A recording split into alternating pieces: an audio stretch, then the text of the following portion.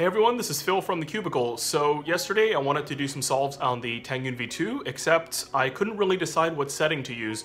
So I had a crazy idea, which was why not do all of them and also film the process. So I filmed the process. Uh, in this video, you're gonna get an average of five non-rolling of every single setting combination between tension and elasticity. I didn't do the magnets because I know I like the, you know, the second middle choice. And also that would have multiplied my uh, solves by three, which would have uh, been kind of a disaster to to um, edit. And uh, so I have the magnet set at two, but I go through all 16 combinations of tensions and elasticities. And I think I discovered a rule of thumb, which is to use the M slice as a benchmark. So essentially, I recommend starting at the lowest possible settings, 0.6 and 0 for tension and elasticity, and then working your way up until you discover a point where your M slices are comfortable and you're not fumbling and the cube's not locking. Uh, when the tensions and elasticities were too low, the cube was really fast, except uh, the corner was catching on the center and the M slices were really unstable and sometimes I got to, you know, last layer at like six seconds, but then I fumble a U-perm and it ends up ruining my solve. So that's no good, but uh, start at the lower end and work your way up until you discover settings that are good for you. Uh, the reason I'm starting at the low end also is, is that you want to keep the cube as fast and quick as possible because who doesn't like a fast and quick cube, right? So that's something that I learned. Of course, this is my personal opinion. You're welcome to use whatever standard that you develop yourself to adjust your cube. I just thought that using the M-Slice as a benchmark uh, was a really simple and effective way to, to do this. So without further delay, uh, let's watch some cubing and uh, you can see me make some mistakes here and there. Um, I hate to blame the, the hardware, the settings, but some of the uh, settings are quite hard to use, but I was surprised there were a lot of settings that were also really amenable to, to my cubing style. So let's take a look.